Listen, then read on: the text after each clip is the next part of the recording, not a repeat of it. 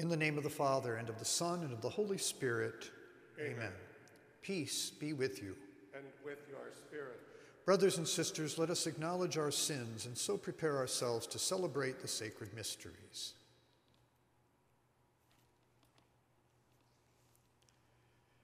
Lord Jesus, you raised the dead to life in the Spirit. Lord, have mercy. Lord, have mercy. Lord Jesus, you bring pardon and peace to the sinner. Christ, have mercy. Christ, have mercy. Lord Jesus, you bring light to those in darkness. Lord, have mercy. Lord, have mercy. May Almighty God have mercy on us, forgive us our sins, and bring us to everlasting life. Amen. Let us pray.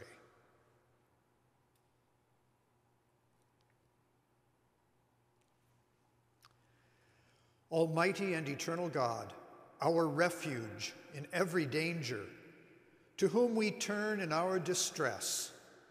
In faith we pray, look with compassion on the afflicted, grant eternal rest to the dead, comfort to mourners, healing to the sick, peace to the dying, strength to healthcare workers, wisdom to our leaders, and the courage to reach out to all in love so that together we may give glory to your holy name. Through our Lord Jesus Christ, your Son, who lives and reigns with you in the unity of the Holy Spirit, one God, forever and ever. Amen. Amen.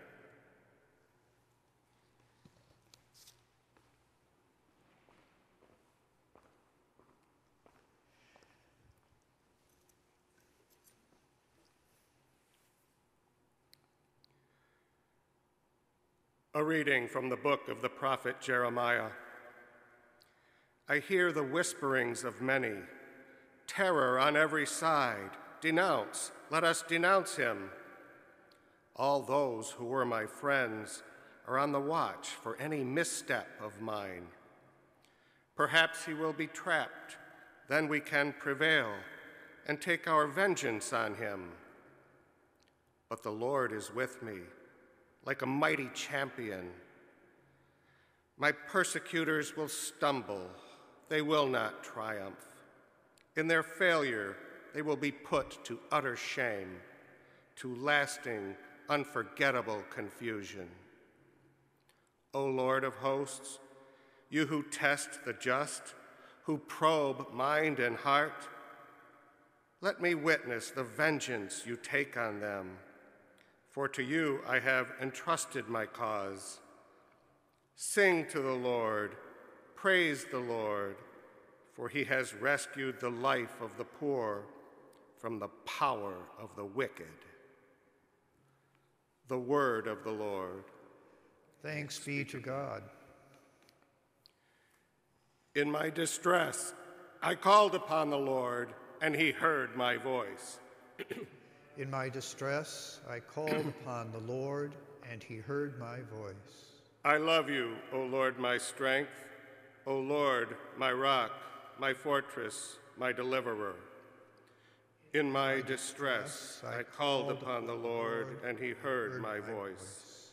My God, my rock of refuge, my shield, the horn of my salvation, my stronghold, Praised be the Lord, I exclaim, for I am safe from my enemies.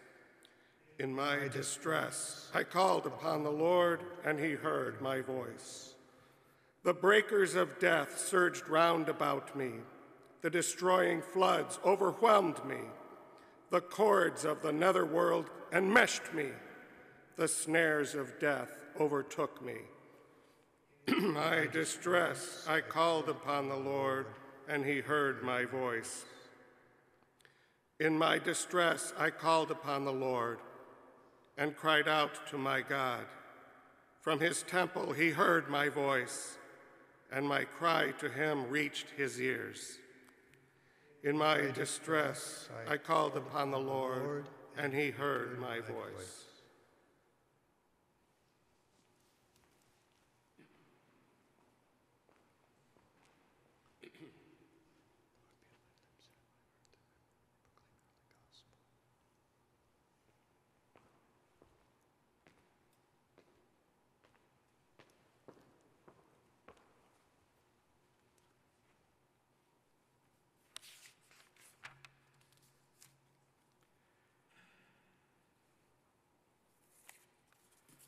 The Lord be with you. And with your spirit. A reading from the Holy Gospel according to John. Glory to you, O Lord. The Jews picked up rocks to stone Jesus. Jesus answered them I have shown you many good works from my Father. For which of these are you trying to stone me? The Jews answered him we are not stoning you for a good work, but for blasphemy. You, a man, are making yourself God. Jesus answered them Is it not written in your law, I said, You are gods? If it calls them gods to whom the word of God came, and scripture cannot be set aside, can you say that the one whom the Father has consecrated and sent into the world blasphemes because I said, I am the Son of God? If I do not perform my Father's works, do not believe me. But if I perform them, even if you do not believe me, believe the works, so that you may realize and understand that the Father is in me and I am in the Father. Then they tried again to arrest him, but he escaped from their power. He went back across the Jordan to the place where John first baptized, and there he remained. Many came to him and said, John performed no sign, but everything John said about this man was true. And many there began to believe in him. The Gospel of the Lord. Praise to you, Lord Jesus Christ. First of all, it is good to be with all of you who are watching right now, who are engaged in this day of prayer and penance, prayer and fasting, really to be freed of this evil of the pandemic which has afflicted us, but also to draw us more deeply into the great mysteries of our Lord, which we are about to enter in this most holy week. We're given two characters today Jeremiah and Jesus. And in many ways, I suppose we could say that Jesus is like another Jeremiah in some ways. Jeremiah suffered a great deal, a tremendous amount. He suffered, first of all, because he was asked to do something he really didn't want to do. God made him be a prophet, and he didn't want to be a prophet. He tried to find all kinds of excuses not to be a prophet. And not only that, since God forced him to do it, you would think that God would have made it easy for him. But no, that's not what happened. For Jeremiah, being a prophet was a real difficulty. He was given words to speak that he knew no one would hear. No one would listen to him or heed him. No one would do what God wanted. And yet, he had to say these words. He was imprisoned a couple times. And so his life his life as a prophet was a complete misery in many, many ways. And yet, he is able to say in our reading today these words The Lord is with me like a mighty champion. Man, that's faith. The Lord is with me like a mighty champion in the face of all of that. I don't know where it comes from. That's grace. Jesus, in a way, becomes akin to Jeremiah. Some believed in him, and as we heard in the gospel today, some didn't. He faced many enemies. I suppose there were also many who were simply lukewarm, who just didn't care, who were indifferent. But Jesus, too, came to do the will of the Father. And he knew, and we hear this constantly in the Gospel of St. John, that God the Father was his champion and he was with him. Like Jeremiah, Jesus knew he was not alone. Now, as we enter into this Holy Week, we see that we must also adhere to the fact that God is our champion. Now, that doesn't mean things are going to be easy. It doesn't mean that He's going to willy nilly just get rid of all of our difficulties, including the difficulties our culture and our society are facing right now. But it does mean that He gives us the courage and the strength to continue to carry on, that we are able to walk with Christ because Christ walks with us and Christ is in us. He is in us. and with us like a mighty champion. God bless you all.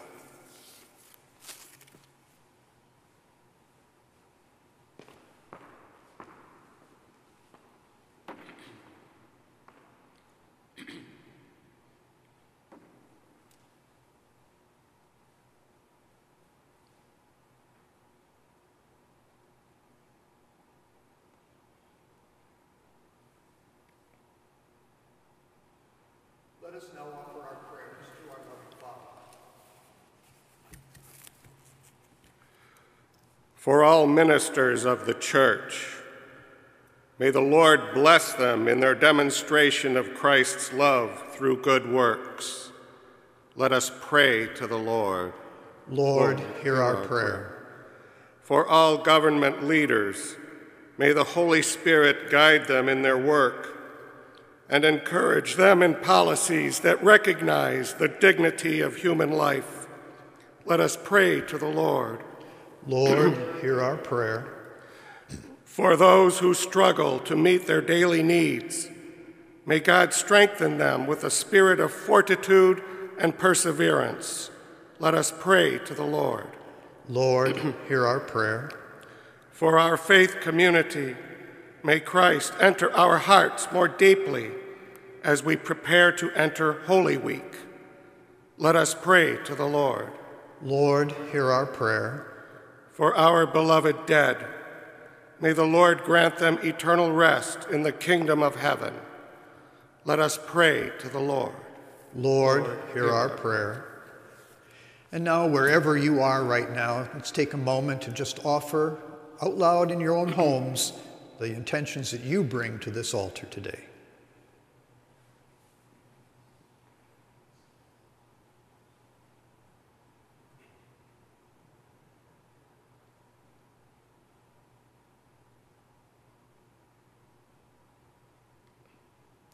Let us pray to the Lord. Lord, hear our prayer. Heavenly Father, hear all these prayers which we offer in the name of Jesus, for he is Lord forever and ever. Amen.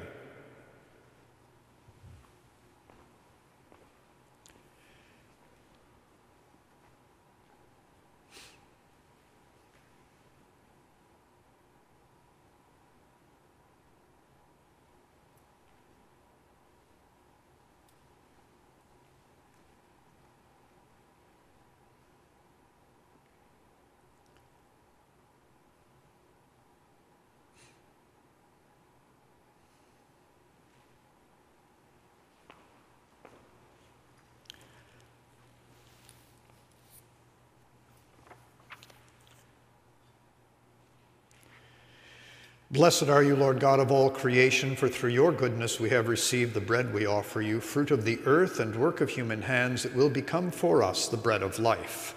Blessed be God forever.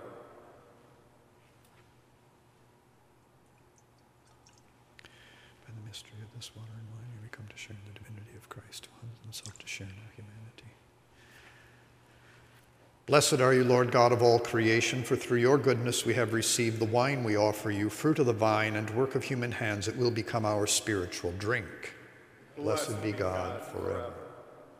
With humble spirit and contrite heart, may be accepted by you, Lord. May our sacrifice in your sight this day be pleasing to you, Lord God. Wash me, O Lord, from my iniquity and cleanse me from my sins.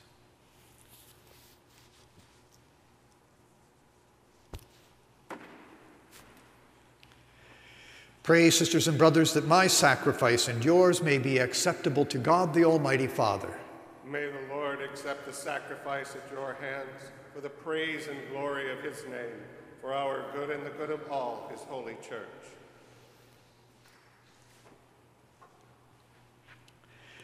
Accept, O Lord, the gifts we offer in this time of peril.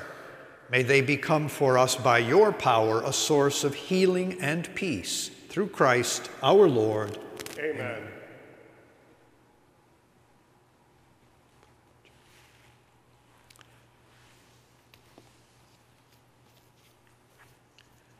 The Lord be with you. And with your spirit, Lift up your hearts. we lift them up to the Lord. Let us give thanks to the Lord our God. It is right and just. It is truly right and just, our duty and our salvation, always and everywhere to give you thanks, Lord, Holy Father, Almighty and Eternal God. For through the saving passion of your Son, the whole world has received a heart to confess the infinite power of your majesty, since by the wondrous power of the cross, your judgment on the world is now revealed and the authority of Christ crucified. And so, Lord, with all the angels and saints, we too give you thanks as in exultation we acclaim, Holy, holy, holy, Lord God of hosts. Heaven and earth are full of your glory. Hosanna in the highest. Blessed is he who comes in the name of the Lord. Hosanna in the highest. You are indeed holy, O Lord, the fount of all holiness. Make holy, therefore, these gifts, we pray, by sending down your Spirit upon them like the dewfall, so that they may become for us the body and blood of our Lord Jesus Christ.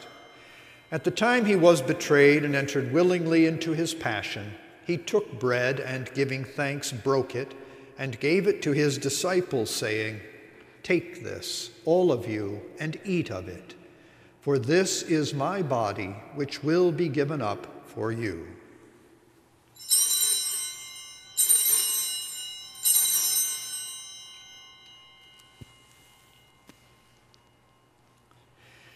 In a similar way, when supper was ended, he took the chalice, and once more giving thanks, he gave it to his disciples, saying, Take this, all of you, and drink from it.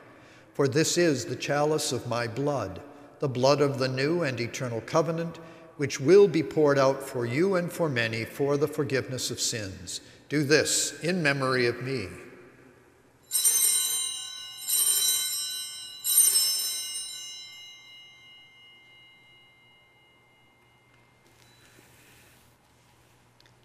The mystery of faith. Save us, Savior of the world for by your cross and resurrection you have set us free. Therefore, as we celebrate the memorial of his death and resurrection, we offer you, Lord, the bread of life and the chalice of salvation, giving thanks that you have held us worthy to be in your presence and minister to you. Humbly we pray that partaking of the body and blood of Christ, we may be gathered into one by the Holy Spirit. Remember, Lord, your church spread throughout the world and bring her to the fullness of charity, together with Francis, our Pope, me, your unworthy servant, Carl, our Bishop Emeritus, and all the clergy. Remember also our brothers and sisters who have fallen asleep in the hope of the resurrection, and all who have died in your mercy. Welcome them into the light of your face. Have mercy on us all, we pray, that with the Blessed Virgin Mary, Mother of God, with blessed Joseph, her spouse, with the blessed apostles and all the saints who have pleased you throughout the ages, we may merit to be co heirs to eternal life and may praise and glorify you through your Son, Jesus Christ. Through him, and with him, and in him, O God Almighty Father, in the unity of the Holy Spirit, all glory and honor is yours forever and ever. Amen. At the Savior's command, informed by divine teaching, we dare to say, Our Father, who art in heaven, hallowed be thy name. Thy kingdom come, thy will be done, on earth as it is in heaven. Give us this day our daily bread, and forgive us our trespasses, as we forgive those who trespass against us and lead us not into temptation, but deliver us from evil. Deliver us, Lord, we pray, from every evil. Graciously grant peace in our days, that by the help of your mercy we may be always free from sin and safe from all distress, as we await the blessed hope and the coming of our Savior, Jesus Christ. For the kingdom, the power, and the glory are yours, now and forever. Lord Jesus Christ, who said to your apostles, Peace I leave you, my peace I give you, look not on our sins, but on the faith of your church, and graciously grant her peace and unity in accordance with your will, who live and reign forever and ever. Amen. Amen. The peace of the Lord be with you always. And with your spirit. Lamb of God, you take away the sins of the world, have mercy on us. Lamb of God, you take away the sins of the world, have mercy on us. Lamb of God, you take away the sins of the world, grant us peace.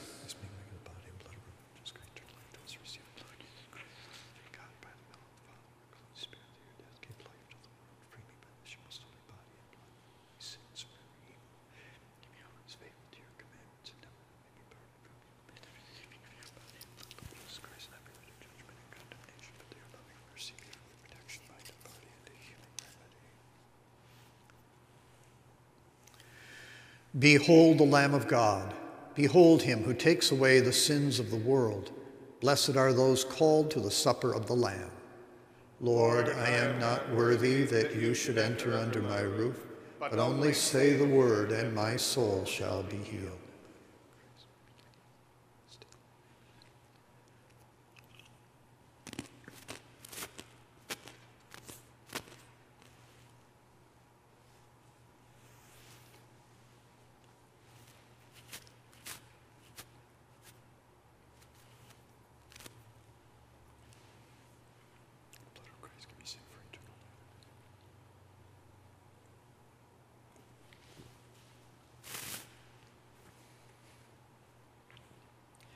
Come to me, all who labor and are burdened, and I will refresh you, says the Lord.